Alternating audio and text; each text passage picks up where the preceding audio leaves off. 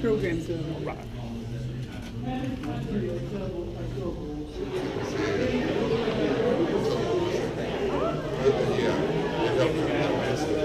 Like it.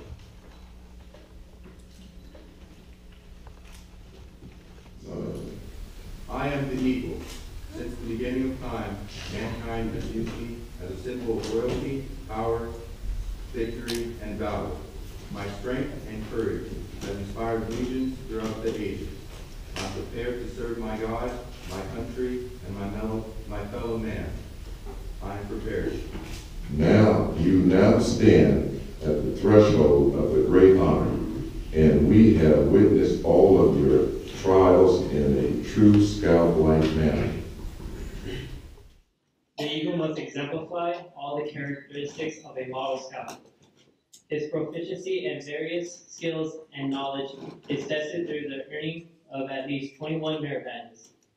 His leadership is shown through uh, serving at least six months uh, in a true position and conducting on an approval service project. And finally, his character is considered through a Scoutmaster Conference, a council board of a review, and daily living by the scout oath and law.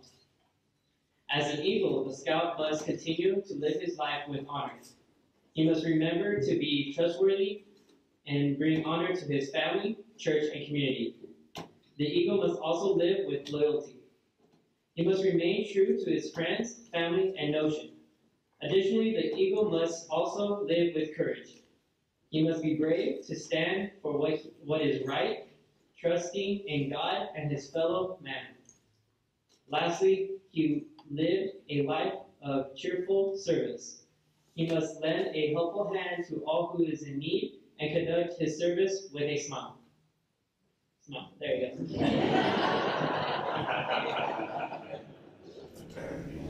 I normally would have a humorous anecdote, and I don't have one today.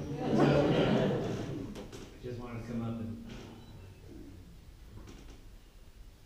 say, yeah, it's over!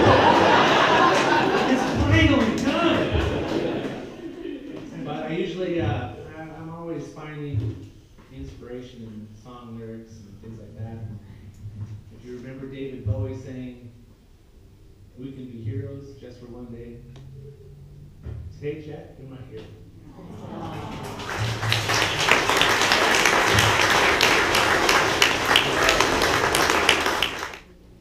It's my honor to present Troop One's latest Eagle Scout.